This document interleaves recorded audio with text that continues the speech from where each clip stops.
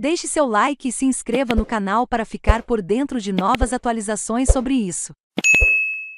Surf. Felipe Toledo fatura título da etapa da WSL em Bells Beach. O brasileiro Felipe Toledo, conhecido como Filipinho, venceu na madrugada deste domingo, 17, no horário de Brasília, a mais tradicional competição da Liga Mundial de Surf, WSL, sigla em inglês.